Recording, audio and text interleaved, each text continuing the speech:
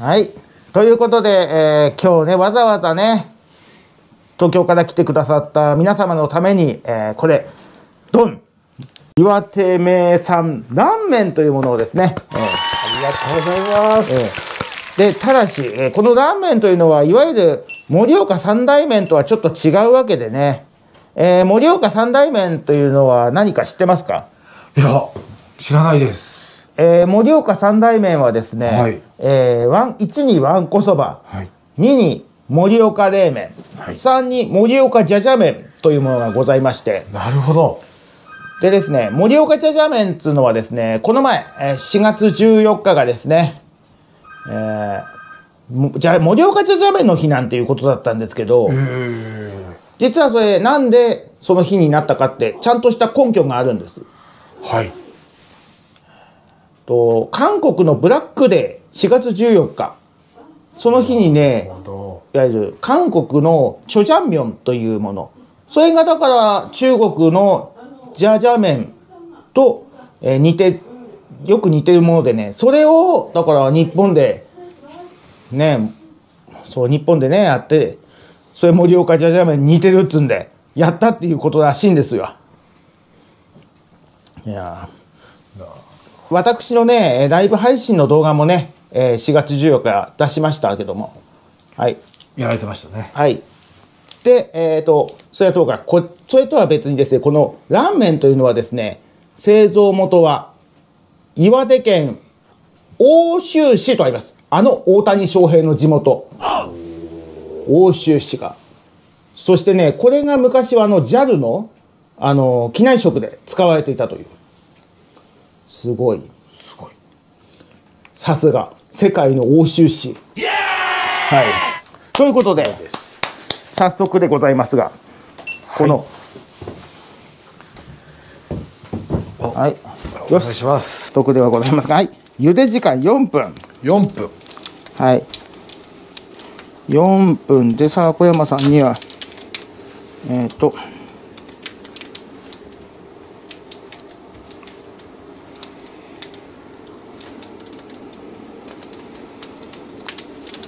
はい。ち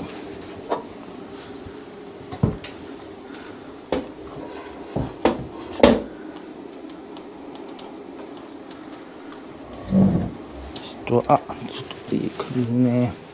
はい。もっと軽いね。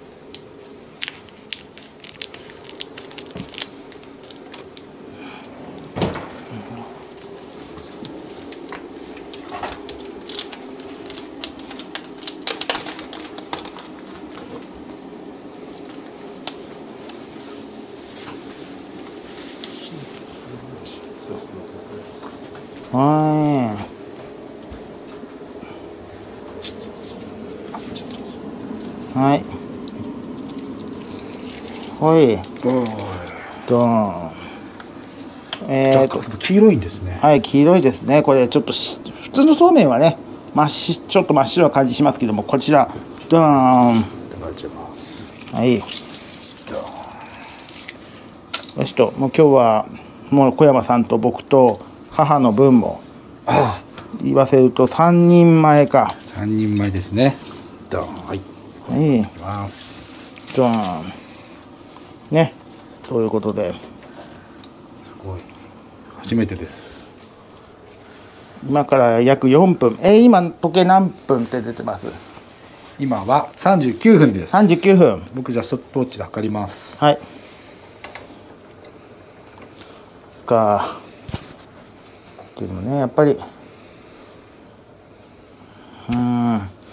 いや、しかし、まあ、これ、岩手県はね。この盛岡三大麺もだけど、このラーメンとかね。しかも、本当に小山さんっていうね、麺屋さんが。えー製麺所があるんですよ。その奥州市の。あそうなんですか？別に、そう。よし、これはね、小山さんじゃ吉田製麺さんっていう。吉田製麺さん。えー、江差市なんですけども、はい。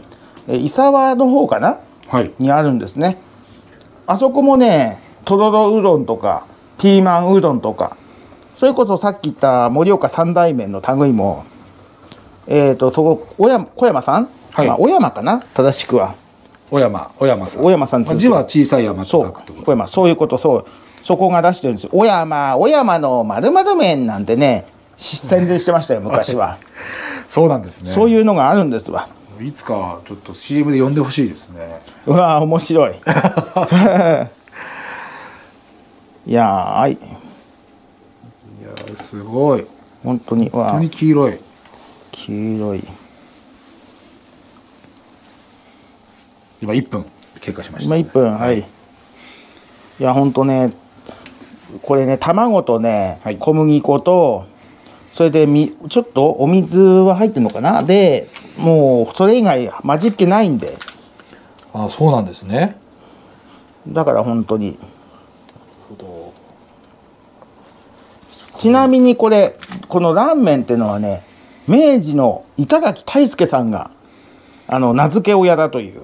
ほ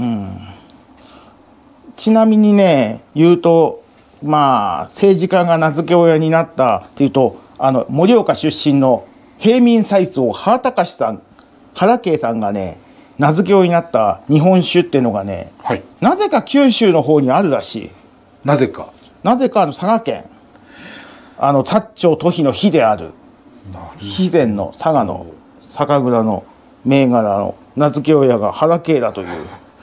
なぜかですね。まあだって結局薩長都比が戊辰戦争の勝ち組で岩手は結局南部も伊達も負け組ですから戊辰戦争は。そうですね。しかも原家も結局南部ん盛岡藩士の家に生まれた人ですからね。そう考えるとわーって思いましたよ。わーっと思いますね。そういう。まあそうは言っても瀬古丼がね瀬古丼が省内にまあちょっと植民事業を起こしたり大久保利通もまあ暗殺される数年前から福島の朝霞水やったりとかってねまあ東北のためにいろいろやってくれたっていうのはねあるんですけどねそうですね。うんあ3分経過しました。あと1これ分です。3分はい。インスタ普通のカップ麺だったらねもうこれで出来上がりなんですけどあと1分そうですね。いやまあいでもカップ麺でも出来上がり4分まあ最近は5分ってのもありますけどねありますね。俺なんか僕なんか結構ねそういうのをうんそういうカップ麺もねあ、うん、ちょっと食べたりしますけどね。でもまあやっぱりラーメンとかはい。見て、おこのラーメンをね意外といや自分でねこういう自分でこうラーメン茹でたりするの。お途中しとざるを用意しとくそうかですね。ざるを用意しとこう、はい。あと15秒ですね。14はい。12 10 9 8、7、6、5、4、あ3、違うまだ。二5 4 3 2 1 4分です。はい、はい。うーん。はいはいはいはいはいはい。はいとあとよしとあこっちこれ2つ冷蔵庫にバッてやちょっと入れといてと、そしてはい。そしてあとこれを。はい、これ、ざる持ってった方がいいですか？はい。はい、ここでいいですかね？はい。はい。はいと。はい。あと。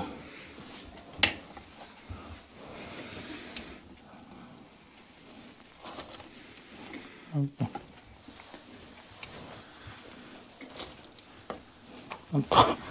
と。あとさすがに、ね、これはね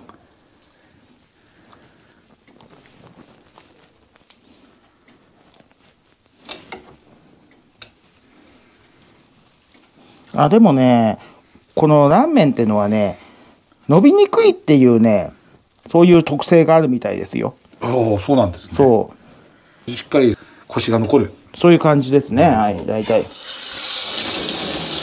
はい。よしと、そうやってちゃんと。よしと、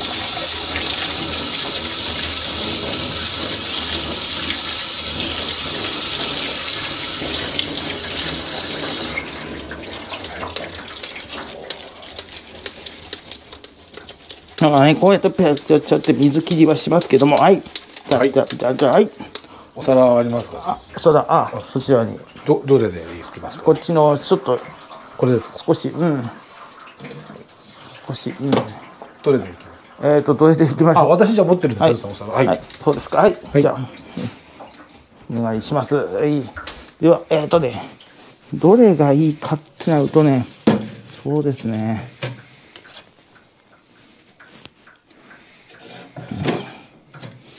まず、どれがいいか。うん。はい、こっちにしましょうか。ちょっとこれ津軽縫いなんですけど、岩手じゃなくてごめんなさい。こちら、はい。はいはいはい。まず、はい。まずこっちが、はい。津軽縫いちゃんで、はい。津軽ちゃんで。はい。で、次。はい。で、続きましては、えー次が、はいと、次は、はいと、これを、はい。こうですかねはい。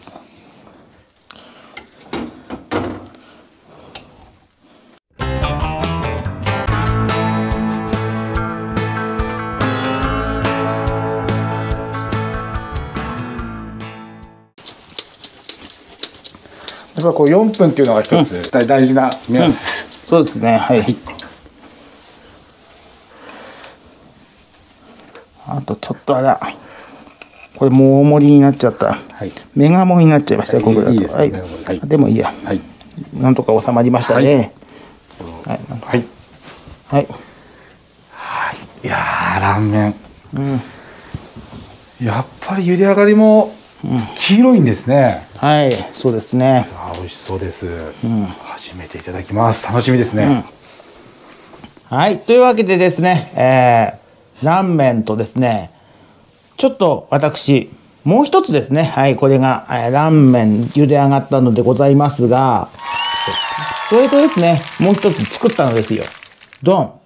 これはですね、岩手の牛乳を使いまして、しかも、それを固めるときに、ドンこういう岩手県のお酢を使いました。えっ、と、岩手県のお酢っていうか、聖地発酵で純米酢っていうのを、えー盛岡市の浅沼醤油店ってところが作っているんですが、えーちなみに浅沼醤油店さんっていうのは、あのー、河南地区の方にお店出してましてね、そうですね、母ちゃん。あそこの、そこのね、お酢を使わせていただきまして。だから、こう、ちなみに牛乳使ったのはね、これは、今日は奥中山高原のやつです。まあ、他にもくず巻きだったり、小祝いだったり、まあ、中ほらで使った人がいるってネットで言ってましたけどね。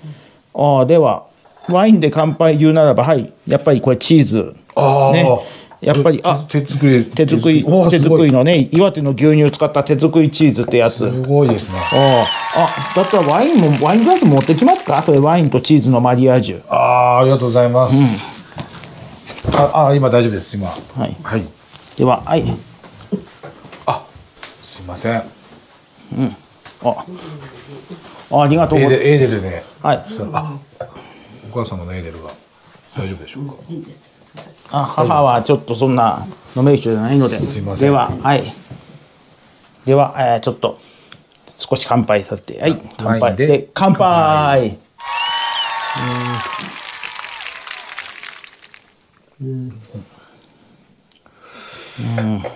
じゃあ早速はい。先にいいですか？はいあいただきます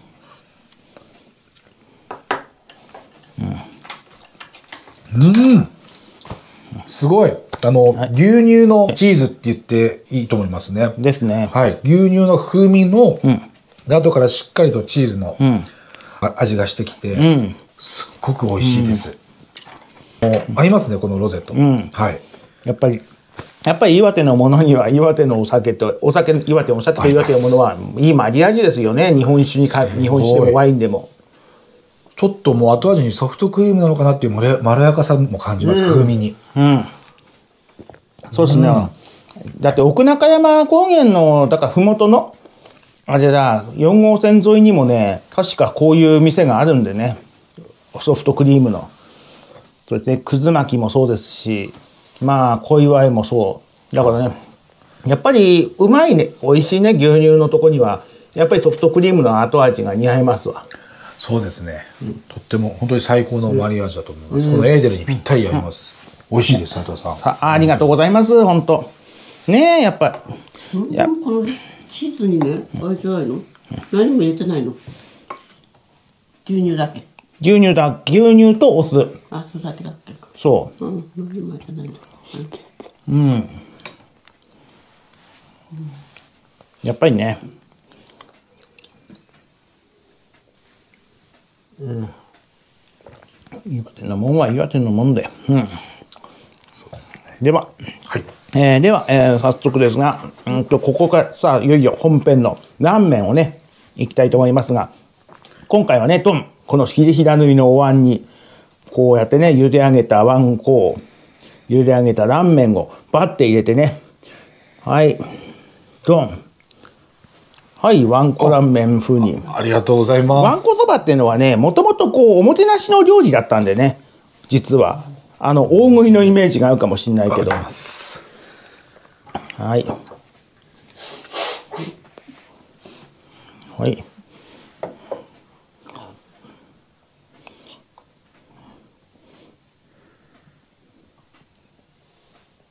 はい。はい。はいでは、えっと、あ、ちょ、ちょっと、じゃあ、あとじゃあ、鶏箸。で、鶏箸一つ。ね、やっぱり鶏箸一丁。はいはい、これね。じゃあ、鶏箸はさっきの茹でた、はい揚げたやつを、はい。こいつで。はい。それでは、それでは、はい。ラーメン、いただきいます。ただきます。はいいただきますはいす。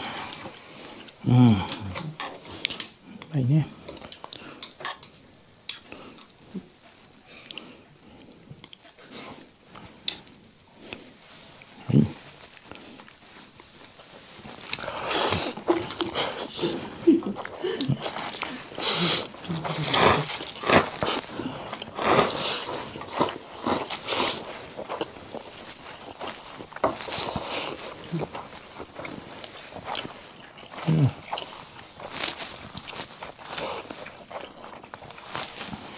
ちょっと入れすぎじゃないうん。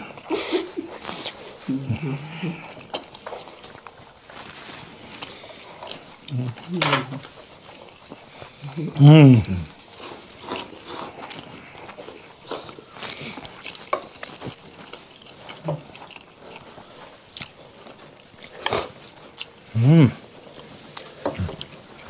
でもあんたは本当にあれだよね、うん。このラーメンとか、ジャージャー麺とか、うん、そういうのだけ自分で作るもんね、いや、あだって大抵私うん。あそうですよねやるのは。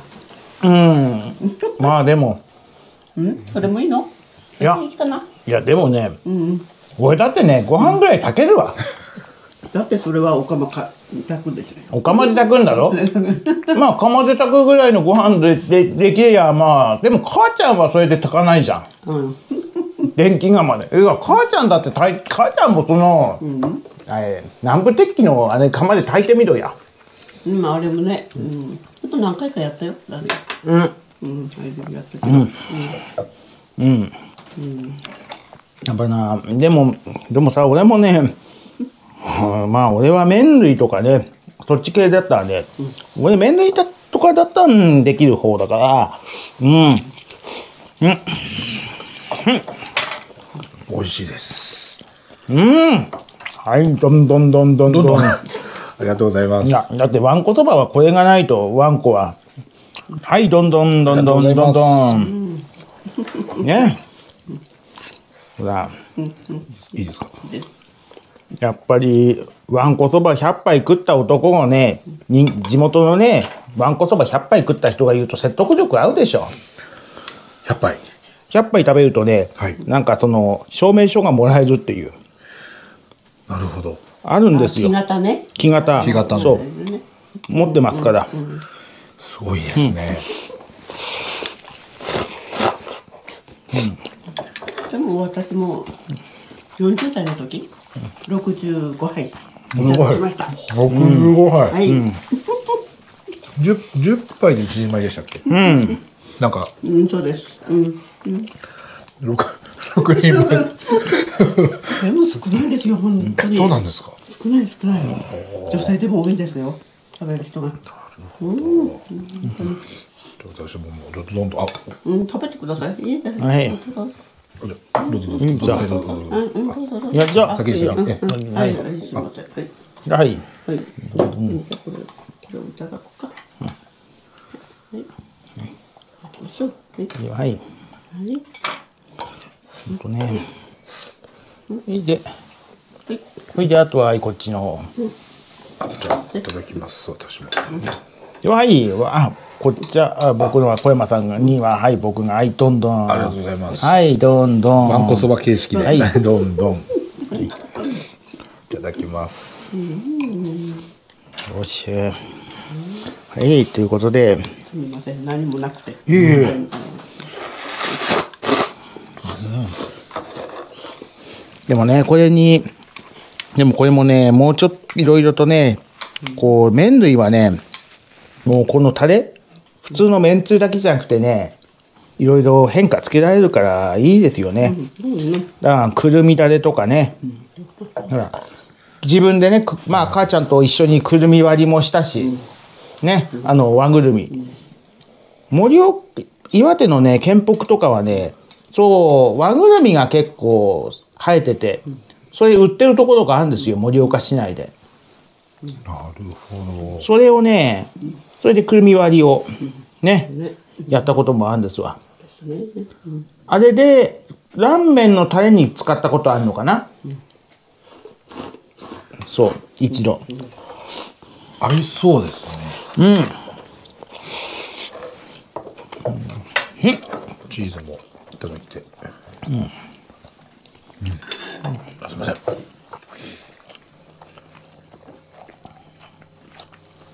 うん。ありがとうございます。はい。うん、わんこそばの時のわんっていうののあのこれは本当のこれの半分ぐらいの量なんですよ。ああ、うん本当。ひとひとひと盛りあの本当のうんこれをこうあれするんだから結構入るんですよね。どんどんいい。だからどんどん入る。なんかこうお終わる時が難しいって聞いたことそうですえさっとね。そう蓋を蓋をねやんないとえそうですね。いやもっと卵の風味がして美味しいです。うん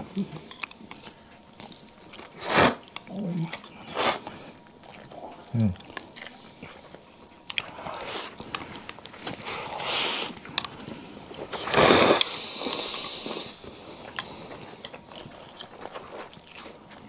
の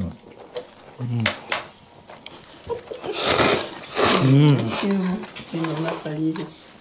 こう食べから来ると食べる時。うん？何？何かありますか？何？もうちょいめん。つゆなんか？まあ。うん。種じゃなくて。うんこのおつゆも美味しいですね。うん何置いて食べるんじゃない？あうん？何？いや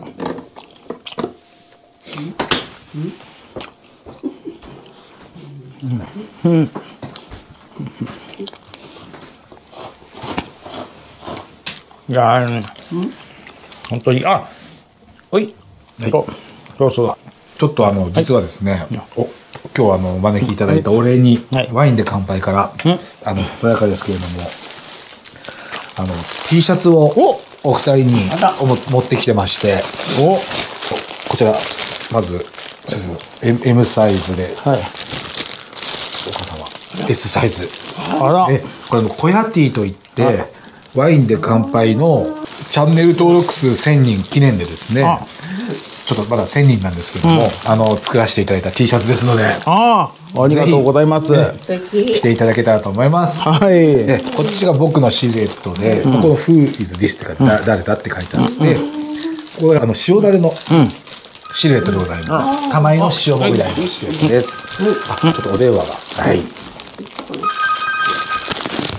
ぜひ来ていただいてはい斉藤でございますそうですね。ちょっと開けていいですか？あ、どうぞどうぞどうぞ。ああ今ちょっと立て込んでますんではい大丈夫ですかね。はいうん。あ、大丈夫ですよ。おいあ、おい開けていただいて。おい行きましょう。はい。あら、ありがとうございます。あー、いいこはい。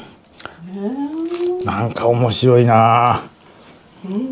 その QR コードを読み取ると、その説明のページに飛ぶっていう仕組みになってあ、まして、そうんはい、おこさんぜひこちら側でこそうですよね。う映るようにぜひちょっと。ははい。い、あ、これをいただきました。あ どうでしょうか？もああでしょうか？お似合いだと思います。ぜひこの夏はこの T シャツ着ていただけると、ね、いいえですえね。嬉しいです、い。いや多分母ちゃんと親子でまあこのこのシャツ着てるか俺とこっちこの加工シャツ着てる母ちゃんで一緒にいるとね、はい。なんか盛岡市内でなんか目立つかな？目立つと思います、いやー。はい。あんはありがとうございます、喜んでいただけて嬉しいです、はい。すみません。いえいえいえ、もう本当今日ありがとうございます。こちらこそで、ええ。あー嬉しいわ。はい着させていただきます。よろしくお願いします、じゃあ。続きいただいてもよろしいですかね。うん。じゃやれば。あちょっとまだちょっとまだ薄いが。あそうですね。では。だからおぶっとけばいいでしょ。あ美味しそうね。あだってこれだってこれ天だってこれさ山梨のメーカーだぞ。天与武田。山梨。ほら。おちょっとおオチがワイン王国山梨の。そう。天与のビミさん。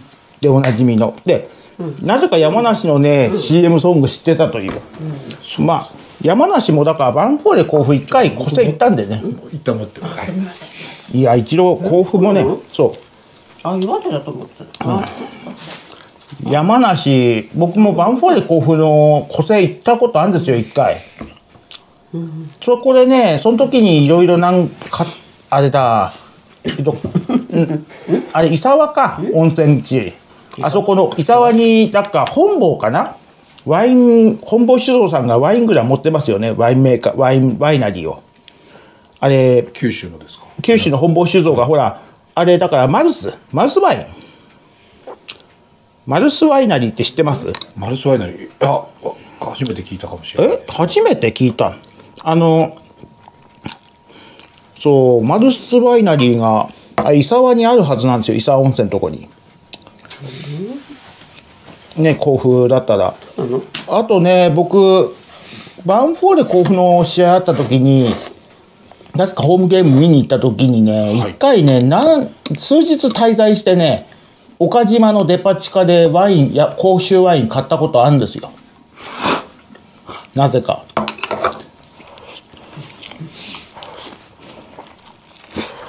バーフォーレ甲府。本当にね、全国にね。っていうか。飛び回ってる。ああ何またどこへ行くの？今度は。うんうん本当にね。美味しいですすいません。何か。うん。何行ったの、今度は。どこ行ったの？でも結構本当に全国飛び回られてるんですね、それだけはね、感じ続ける。あとこのことはもう全然。のもないだけ。やっぱり一つ熱意があるっていうのは素晴らしいことだと思いますねちょっと偏ってます。でも。いやーそんなことないと思いますはいとなぜかはいはい、どこにいたの？甲府にこうこういうの買ってきたんですよ 地元こっちで小手で。はい。すごい。話が出たんで。すごい。お色直し的なぐらいの、はい。ええ。すごいですね。はい。本当ですか？この地方っていうか、あの行った時にね、とにかく買ってくるの。こういうの、ユそう。そう。やっぱりねえまあはい。あ。またどんどんどん。すいませんどんどんどんいただきます。はい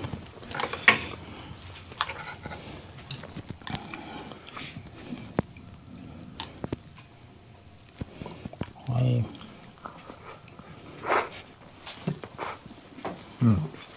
ほん。とハムと卵のすごいね。素晴らしいね。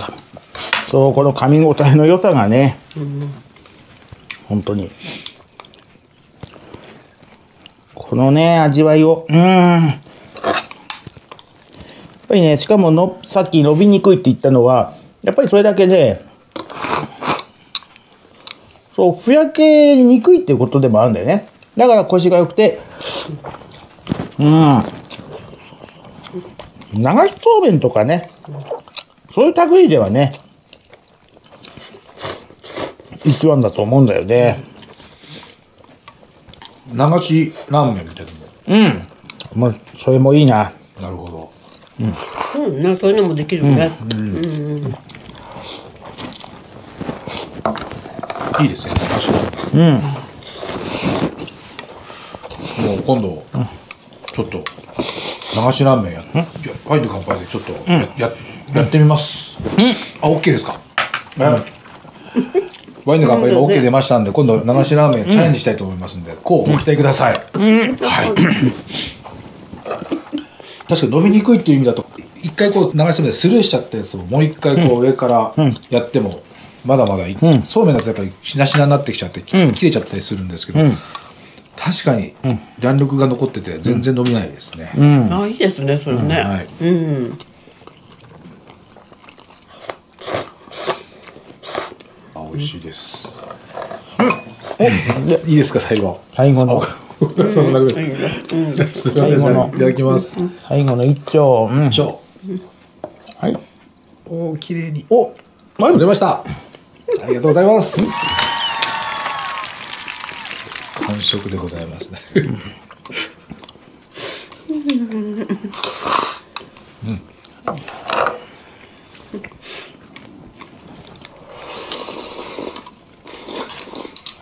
うん。うん。うん。あ。うん。ああ。ってわけでね、はい。ほんと、こう岩手のね、わんこ風ラーメンでね、今日は、小山さんをおもてなししたわけでございますけども、ありがとうございます。うん。すっかり甘えてしまって。いやほんと。これ、プラス、やっぱワインで乾杯さんに合わために作った、この、いや本当に岩手、もうね、岩手の牛乳と、岩手の牛乳を使ったカッテージチーズも、勝手にチーズって母言ってましたけど、うんそう勝手に勝手にチーズうん。いや、でも本当に、勝手に、まあ今度はね、お酢じゃなくてね、レモン風味、レモン果汁かなんかでね、シンプルに作ってみたいと思うんですけどね。でも岩手のね、牛乳さんはね、本当に、ほ結構、例えば中洞とか、くず巻き高原とか、いろいろとね、美味しいとこありますから。うん。まあ、これと、これだとレモン果汁でもね、十分美味しいかななんて。そう、皆さんもね、岩手の牛乳をね、買って、それにまあ、普通のレモン果汁、チュンチュン垂らしてね、そう、勝手にチーズ作ってもね、もう、勝手にチーズ作ってもね、まあ、十分、まあ、元が取れますから、まあ、美味しい、まあ、チーズ作ってみてくださいってことで。まあ、もちろんそれには岩手のワインに合わせて、はい、よろしくお願いします。よろしくお願いします。ってなわけで。はい。ってことで、ごちそうさまでした。はい。